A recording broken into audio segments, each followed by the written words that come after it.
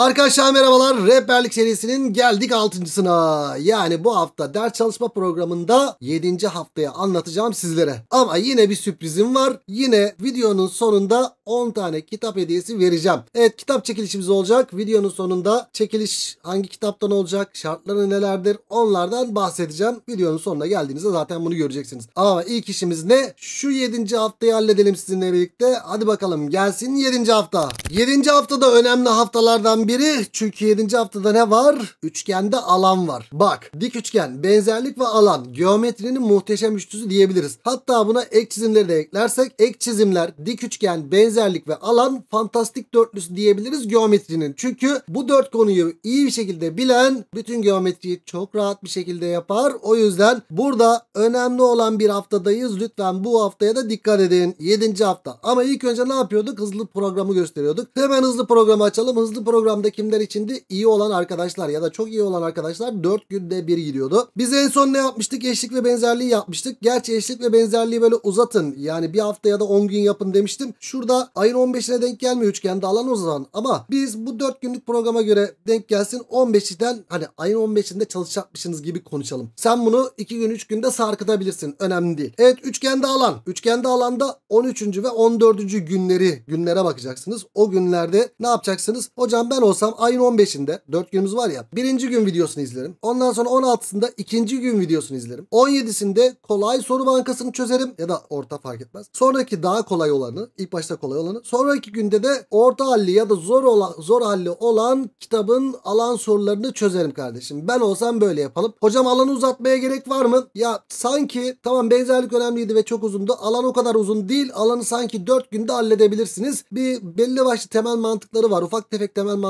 var. O temel mantıkları anlayınca gerisi geliyor zaten. Şimdi gelelim şuraya. Evet 13. ve 14. günlere denk geliyormuş bu hafta. Bir de gel bir de sorulara bakalım. Neye dikkat edeceğiz? Onlara bakalım.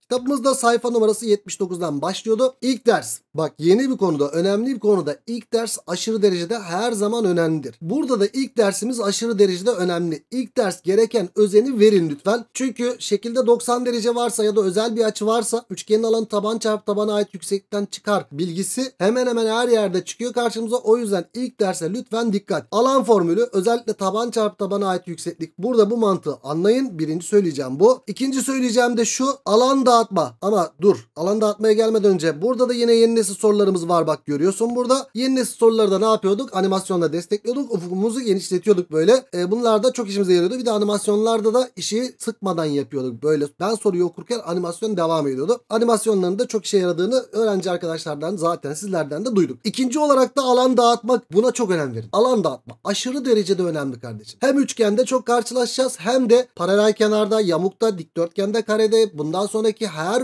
konuda sorunun içerisinde alan varsa bir de oran varsa büyük ihtimalle alan dağıtmayla çıkıyor arkadaşlar. O yüzden bu alan dağıtmaya aşırı derecede gereken önemi yine verin. Yani bir tabana ait yükseklik bir de alan dağıtmayı bildikten sonra alanla ilgili bir sıkıntı yaşamazsınız. Bir de benzerlik alan ilişkisinde kullandığımı kimse sizi tutamaz kardeşim. Bir de burada ne var? Üçüncü olarak da özellikle paraya kenarda falan kullandığımız alan kaydırma meselesi var. Alan kaydırmayı da şöyle bakın bu alan kaydırmayı bilmeseniz de belki yine sonuca ulaşabilirsiniz ama alan kaydırma sadece bize pratiklik sağlıyor. Bunu da bilmenizi tavsiye ediyorum. Sonrasında sinüs alan formülü var. Yani taban çarpı tabana ait yükseklik bölü 2'yi bildikten sonra sinüs alanı belki bilmeden sonuçlara rahat bir şekilde ulaşabilirsin. O şekilde de konu anlatımı yaptım zaten ben göreceksin. Sonra işleye çember alan ilişkisi, ağırlık merkezi alan ilişkisi bunlar hemen akılda kalır. Ama benzerlik alan ilişkisine de yine gereken önemi ver kardeşim. Şöyle yeni nesil sorularımız da yine burada mevcut ve böylelikle alan konusunu bitirmiş olacaksınız. Ama benim için ve senin için en önemlisi ilk ders tabana ait yükseklik ve sonraki ders nedir? Alan dağıtma, alan dağıtma, alan dağıt. Her yerde karşımıza çıkıyor. Lütfen bunlara dikkat. Tamam. Alan konusunu büyük ihtimalle rahat bir şekilde yaparsınız. Alan konusunu yapamamanızın en büyük sebebi şu olur.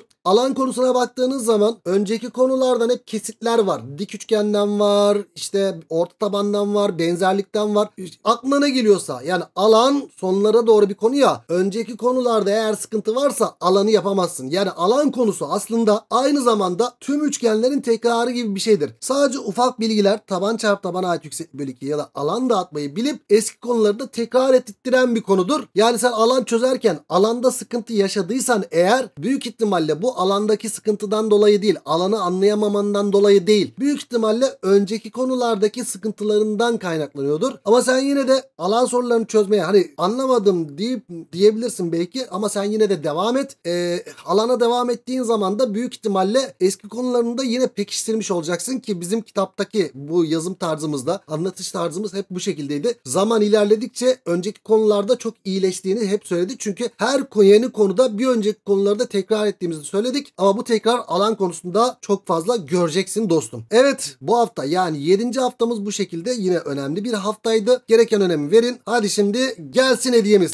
Bu haftaki hediyemiz Metin yayınlarından. Metin yayınlarından geometri kitabı size hediye ediyoruz. 10 tane kitap hediye ediyoruz. Tabi bu çekilişle oluyor. Çekiliş şartları nelerdir? Abone olacaksınız. Videoyu beğeneceksiniz ve yorum yazacaksınız. Kitabı istiyorum ya da Metin yayınları kitabını istiyorum şeklinde ama sonuna yorumun sonuna 3 basamaklı bir sayı eklemeyi de unutmayın. Çünkü çekilişi kazananlar da hep kitabı istiyorum yorumlarından bulmak zor oluyor. En azından 3 basamaklı sayı bir farkındalık yaratıyor. Oradan yorumunuzu daha rahat bir şekilde buluyoruz. Çünkü binlerce yorum geliyor oraya. Ama dikkat edin birden fazla yorum yazan arkadaşlar iptal ediliyor. Çekilişten iptal ediliyor. Ya da yeni hesaplar yeni hesap demek ne demek? Bir adamın bir hesabı vardır. Başka yerden de hesap açmıştır. Başka yerden de açmıştır. Birkaç farklı yerden açmış demektir. O yüzden yeni hesapları da kabul etmiyoruz. O yüzden burada da bir anlayış bekliyoruz sizden. Evet çekilişte çekilişler bu şekilde yine devam edecek. Sonraki hafta da çok güzel bir çekiliş sizi bekliyor. Bu sefer 30 tane olacak yalnız. Şimdiden spoilerını vereyim bunun. E o zaman çekilişte sizlere başarılar diliyorum. Hak edene gitmesi duasıyla videoyu kapatıyorum. Görüşmek dileğiyle kendinize iyi bakın. Hoşçakalın.